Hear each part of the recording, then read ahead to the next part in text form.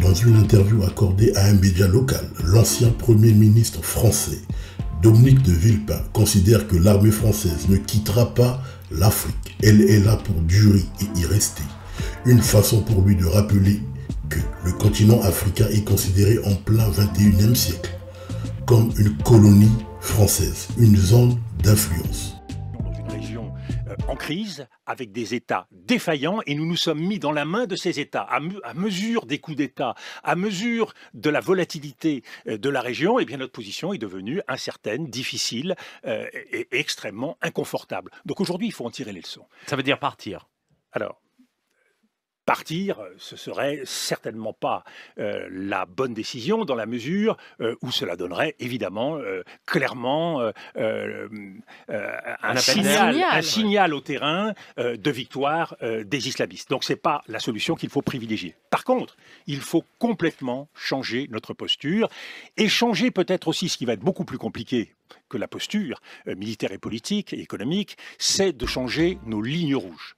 Nous sommes arrivés avec... L'idée selon laquelle l'armée française serait en Afrique pour lutter contre le terrorisme est un mensonge et car la France dispose des bases militaires sur le continent depuis l'époque coloniale, pour ne pas dire depuis la traite des Noirs. La lutte contre le terrorisme que l'Occident veut imposer aux pays africains est une tromperie. C'est une stratégie mûrement réfléchie dont l'objectif est de maintenir l'hégémonie de l'Occident sur les peuples noirs. La présence militaire française sur le continent a vocation à contraindre les États africains à brader leurs matières premières aux pays occidentaux.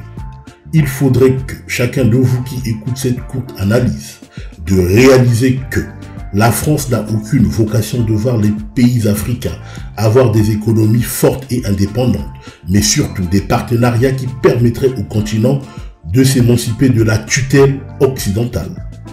Rappelons que le Mali n'a jamais demandé une intervention militaire sur son sol des soldats français.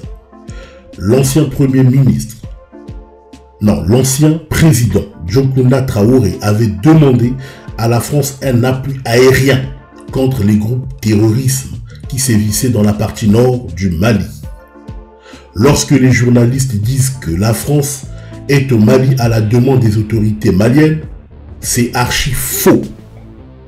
Ils font preuve d'une malhonnêteté intellectuelle.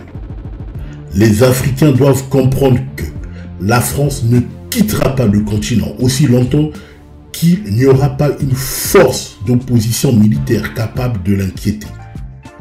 La guerre de l'Algérie, la guerre du Vietnam sont des preuves historiques pouvant édifier chaque Africain libre d'esprit.